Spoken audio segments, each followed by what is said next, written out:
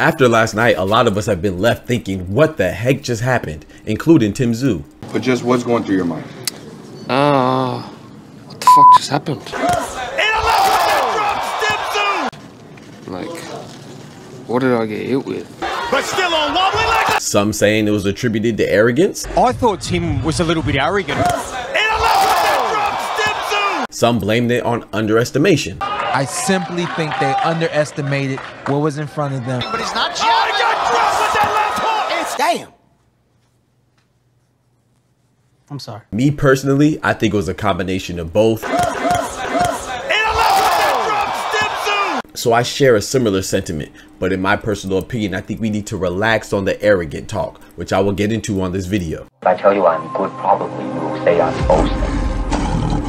If I tell you I'm no good, know one line. Yo, what's good, Boxing Talk family? It's your boy, Dr. PG NG Emperor's Got to Get Money back for another YouTube video. Banger, man. Yes, sir. Yes, man. I don't know what time it is. The doctor's in the house, man. So check this out. You know, what happened last night was was crazy. You know, I, I just wasn't expecting this. You know, and um, you know, a lot of people are saying that you know. Bakhram Murtazaliev was underestimated and people think that, oh, he wasn't good because you don't know him. Well, you know me, I take a different approach because, hey, I'm familiar with all the champions. I make it my duty to do my due diligence and be very meticulous and thorough. This is what I do, right? I know all the champions from minimum weight Oscar Collazo to heavyweight and Daniel Dubois. You know, with me being more familiar with some and less familiar with others, obviously. And Bakhram Murtazaliev falls in the latter. You know, I'm familiar with him, but I'm less familiar with him. You know, I saw him fight Jack Culcay, his last fight, in which he uh, won the IBF title as a vacant title, and he beat him by stoppage, right? Uh, I think 11th round, if I'm not mistaken. And I saw another one of his fights where he fought uh, Fernando Carcamo, and it was a one-round destruction. You know, first round destruction. So I couldn't really gather much there. But a lot of his other fights um, are pretty hard to come by, you know. And um, I've seen some of his highlights against, you know, Kiari Gray and stuff like that. But my point is that I w- he's one of the fighters that I'm less, one of the champions that I'm less familiar with. But I knew going into this fight that it was going to be a tough, difficult fight between him and Tim Tszyu, or at least I thought. so going into the fight, I predicted that it would be a, a, a long fight. I thought it was going to be a unanimous decision to where Tim Tszyu would win. You know, I wouldn't say easily, but decisively, you know, in a, in a, nice competitive fight in the early rounds. But Tim Tszyu would, would, eventually wear him down, not completely stop him, but uh, do enough to get a convincing decision. And boy, was I wrong! Like I was super wrong. I did not see this coming. I, I, I, like I said, I knew Bakhram had a chance. I thought he was gonna go to decision. I didn't think he was gonna get blown out the water, but I definitely didn't think he was gonna blow Tim Tszyu out the water. That was crazy, man. And I think you know, like I showed in those clips earlier, that a lot of people are saying that Tim Tszyu was arrogant and they underestimated him. And I do think that when you underestimate somebody, which I do think Tim Tszyu did, and you overlook somebody because he was talking about, you know, potentially fighting Jermell Charlo, Errol Spence, Terence Crawford, and uh, some of the other champions, rematch Fundora, it seemed like he was looking past him. And in order to do that, you do have to have a smidge of arrogance, you know, even if it's unintentional. But I want to say this, though, too, man because Tim Tszyu was talking, he was talking heavy now. He called Bakhram Murtazaliev everything from a from a from a step aside fighter. Hey, well, he's he's a step aside fighter, clearly. To somebody that he's gonna stop brutally and all this stuff, including his father, you know, which they had a little mini reunion. Kostya Tszyu say that he thought that it was gonna be a, a, a slow, steady demolition of Bakhram, you know, on behalf of his son Tim Tszyu, and that just wasn't the case. But I will say this though, man, just because somebody is being interviewed and asked questions and he's talking about something that doesn't necessarily equate to arrogance you know? And being quiet doesn't equate to humility all the time nor does being loquacious or talkative mean that you're arrogant. Now you can have uh, uh, um, some some inklings and some hints of that in there somewhere but you could be talkative and humble. Like those things aren't polar opposites you know they, they usually don't go together i admit but they're not polar opposites and it's just so funny because on one hand we say when, when when fighters are quiet and they don't talk we say that they're not marketable what? they're not promotable what? they're not interesting what? they're not captivating they're not polarizing they don't have a they don't have any charisma right but then when they do talk then we say oh you need to be humbled yeah. it's, like, it's like bro just shut up and just chill let these fighters do what they do they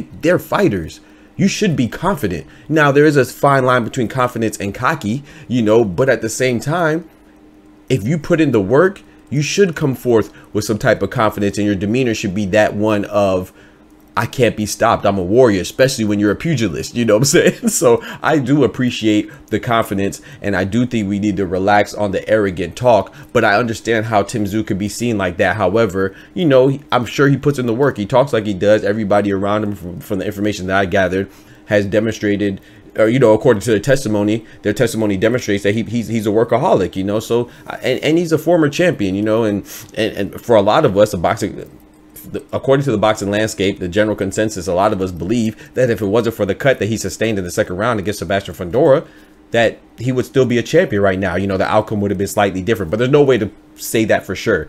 But I just want to paint you all a picture that Tim Tszyu was undefeated before this fight.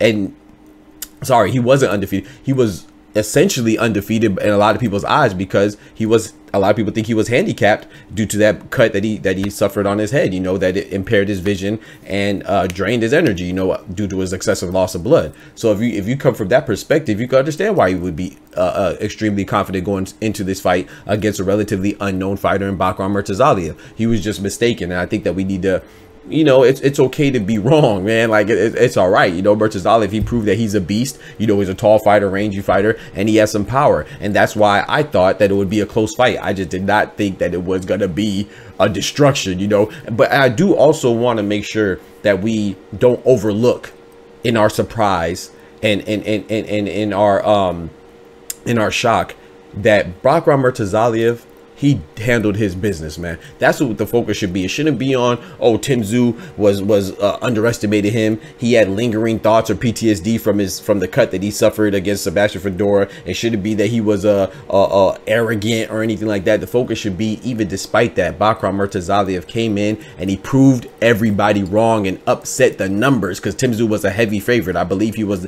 negative 700 or something crazy like that. So Bakhram was a champion. Oh, does that remind you of somebody? Yeah. IBF champion, underestimated, underdog, not treated like he was the guy to beat, but the guy just to get beat up. What you getting at with the book script? Spit that shit out, man.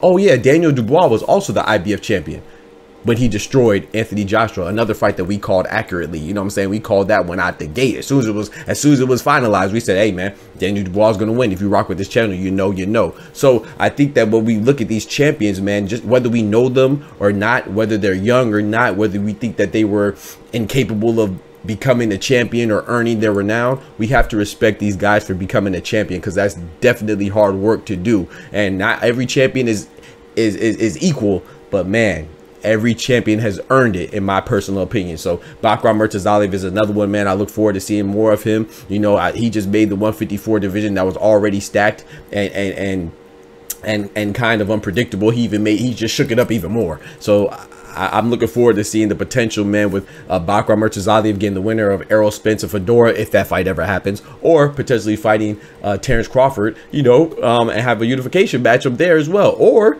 if Jermell Charlo comes out of sabbatical, you know, champion in recess, that will shake it up even more, man. So I think Bakhram Murtazaliev just proved that, hey, man, upsets happen in boxing once again because people tend to forget that, you know, that it's it's any, at any time anything can happen, man. But I also want to go back to Tim Tszyu. I don't want to forget this either. It's just funny because I was watching some interviews a while back. It just it just reminded me of this, man. I remember when they were talking about Michael Zerafa and he was being interviewed, and Tim Tszyu was. Uh, discussing that potential fight again and he was like oh no that ship has sailed i'm not fighting michael zerafa for what like that'd be me going backwards what about you and michael zerafa is that ship sailed oh it's gone man forget the name What did he say? Yeah, ship sailed.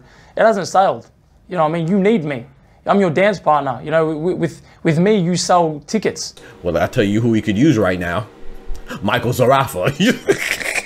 so that is just funny how you know things could change at, at a whim and just one night. Things could change. Now michael zerafa versus tim tszyu looks very interesting. You know what i'm talking about? I say it from day one you know he looks like his daddy fights like his mom. So we'll see how it goes man but big salute to bakhram murtazaliev. Hopefully tim tszyu could bounce back you know i think i think he actually can you know i think it's um that that's that's the shout out to my boy oscar who's in the channel man. You know he pointed out something that i agree with wholeheartedly.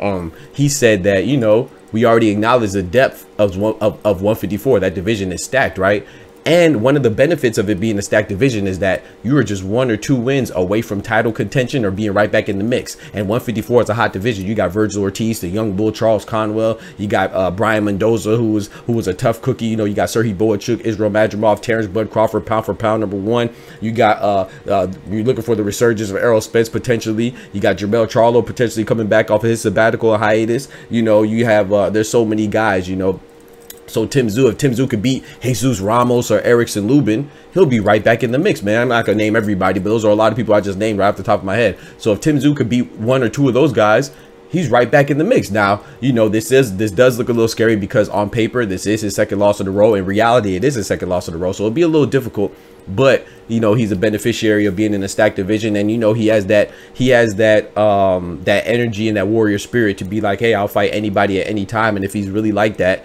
then he can bounce back pretty quickly man so i look forward to seeing uh, more of tim Tszyu. it's not over with him yet you know what i'm saying australia my aussie brethren and sister keep your head up you know what i'm talking about but he did seemingly get exposed last night. And Bakhram, he was not playing, man. And Bakhram, he, he looked brilliant last night. Three round demolition. Bro, I ordered food, man. I ordered food. I ordered me a wing plate with fries and a chicken sandwich. I ain't even eat one wing. it was over.